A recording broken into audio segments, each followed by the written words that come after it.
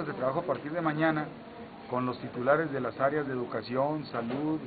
eh, desarrollo social, seguridad pública y otras áreas en donde nos vamos a empatar con funcionarios estatales y representantes sociales para que luego la visita del presidente ya esté la propuesta, el documento emanado de esta discusión y diálogo, un documento mucho más eh, permeado en la sociedad y mucho más eh, consensado con la propia sociedad.